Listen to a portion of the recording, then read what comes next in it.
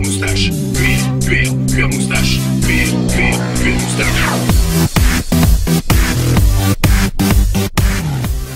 Hey Leute und willkommen bei einem Redstone Tutorial. Heute trage ich den Skin von Trow M Sys und ich zeige euch, wie man einen automatischen Dispenser baut. Viel Spaß! So, und hier befinden wir uns nun in der Tutorials-Welt, die ich mir mal ganz kurz hier generiert habe. Das geht ja mit, äh, dem neu, mit der neuen Version, dass man damit einfach solche flachen Welten erstellen kann. Und das erste, was ihr denkt, ist bestimmt, was, Luca und Redstone, das geht überhaupt nicht klar.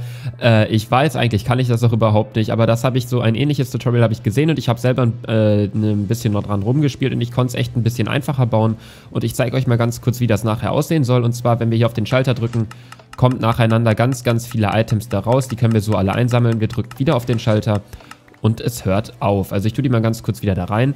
Ähm, ich habe einfach Diamanten reingepackt. Wir sehen hier einfach eine ganz normale Wand mit einem Dispenser. Da hinten ist ein Schalter, den habe ich angemacht. Dann habe ich hier ein paar Repeater hingepackt, die ich aber ein bisschen verzögert habe, sodass das Signal passend ankommt. Und zwar ist hier unten ein Piston, der geht immer hoch und runter und immer wenn, also das hier ist so eine Uhr, nennt man das, glaube ich. Clock hat der Engländer das genannt. Ähm, und wenn man, äh, dieser Block geht dann immer hoch und runter und dadurch wird dieses Redstone-Signal immer aktiviert und deaktiviert, wodurch dann der Dispenser ein paar Items rauspackt. Also ich versuche das mal ganz kurz hier für euch nachzubauen, damit ihr seht, wie das ungefähr geht.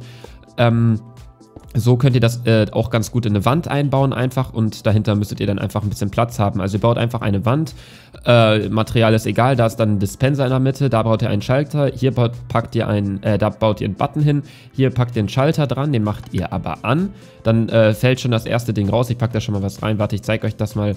Wenn ich den hier ranpacke und anmache, seht ihr, fällt schon der erste Diamant raus. Ist jetzt noch ein bisschen unspektakulär, aber was schon etwas cooler ist, wenn ihr hier einen Redstone dranlegt, wegmacht, immer wenn äh, hier sich etwas verändert auf dem Block, äh, kommt ein Item rausgehüpft. Allerdings äh, können wir ja nicht die ganze Zeit irgendwie so einen Typen hier vorstellen, der das immer an- und ausmacht, sondern dafür haben wir hier diese Blöcke und das Ganze hinter der Geschichte, also hinter diesem ganzen Ding.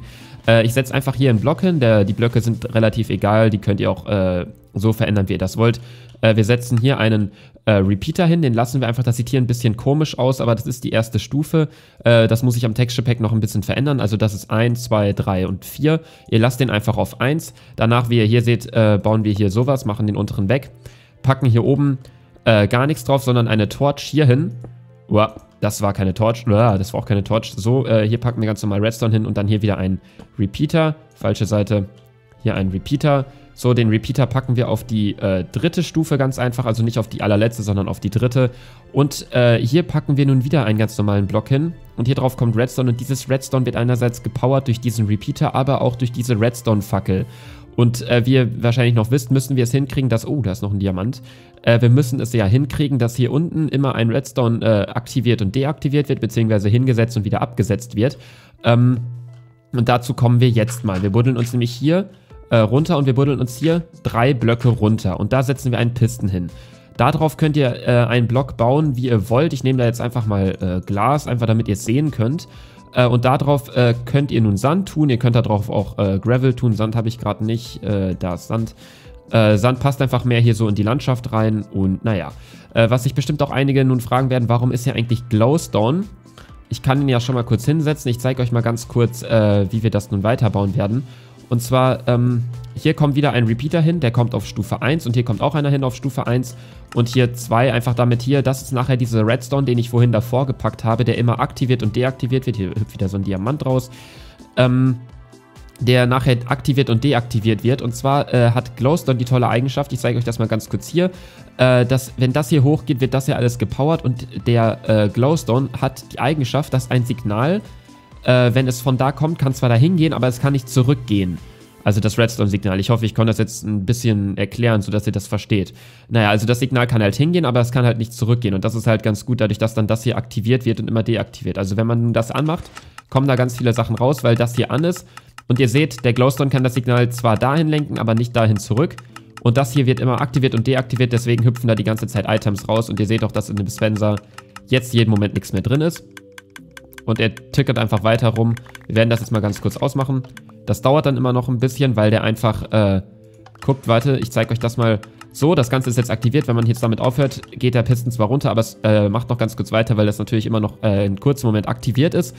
Ähm, und das war es auch eigentlich schon von diesem Tutorial. Also es sollte eigentlich auch gar nicht so lang werden. Ich, äh, das sind bisher so die ersten Annäherungsversuche von mir in die Redstone-Technik, sage ich mal. Ich werde einfach nochmal mit den Typen von Minecraft PG5, äh, mit denen ich ja The Dropper gemacht habe, äh, die hatten gesagt, dass die mir das eventuell ein bisschen weiter beibringen, damit ich, damit ich euch in Zukunft auch Redstone-Tutorials bieten kann. Ähm, was mich einfach freuen würde, wäre übrigens, was ich noch sagen könnte, äh, ich habe den Skin von, Moment, warte, wie hieß der?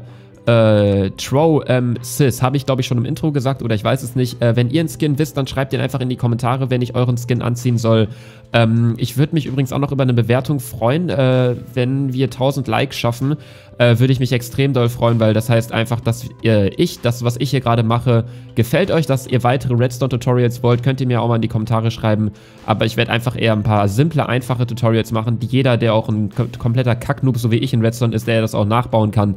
Und ähm, dann würde ich einfach sagen, sehen wir uns beim nächsten Mal. Ciao.